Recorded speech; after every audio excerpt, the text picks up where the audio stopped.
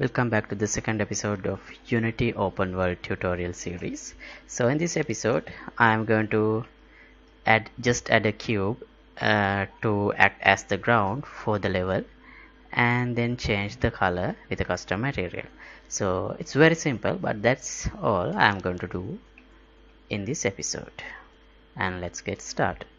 Alright so this is what we got when we open the project. So yeah I don't think I need these assets. So let me delete these example assets. Like this are these okay I'll leave these rendering settings and default post process settings there.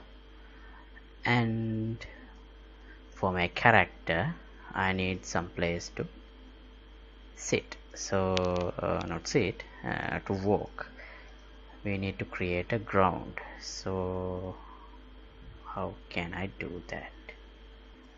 Right uh, so for now let's add a simple cube as the ground. Right click here 3d object and cube. Alright and press R. So you will get this uh, scaling icons. Scaling gizmo or you can select this one as well. And yeah no. Here under scale settings so this uh, x is this red arrow and y is the vertical arrow the green one. And z is the blue arrow. So I'll make x um, 100 and y I'll keep it as 1 is it also 100 like this. Okay so now this is the ground. And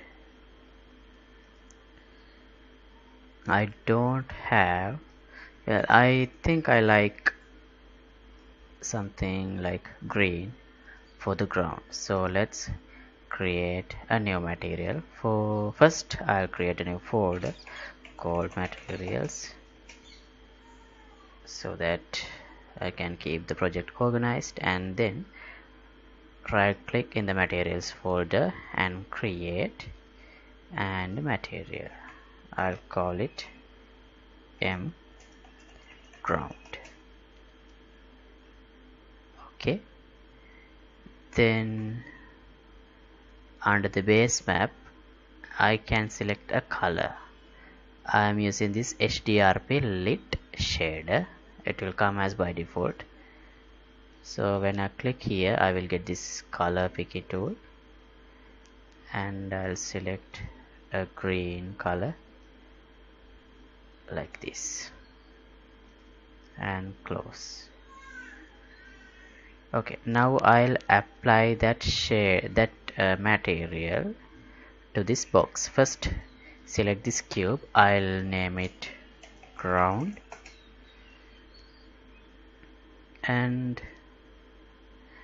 when you select the ground under mesh renderer component you have materials.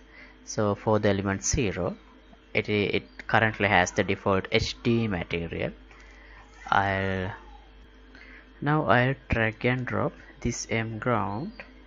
You can also drop it onto the ground object in the viewport as well or you can directly put it here as well. Both things will work so I'll just drop it here. And yeah now as you can see I have a ground that looks like this.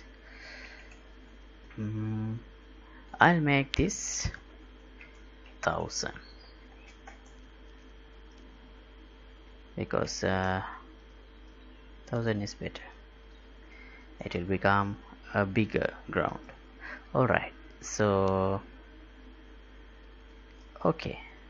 That's I'll wind up this episode at this point and uh, in the next episode let's uh, start creating our character. So when we play the game this is what we get. Just a boring ground nothing else. Alright